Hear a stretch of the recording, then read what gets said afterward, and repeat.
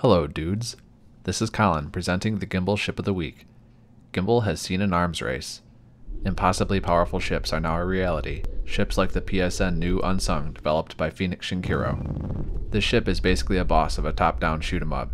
It feels no need to move fast and fills the air with one shot kill projectiles. This ship will take on swarms, and I'm excited by the idea of an asymmetrical fight between an entire fighter squadron and one unsung. It would be a bloodbath. Commission yours now at gimbalgame.com.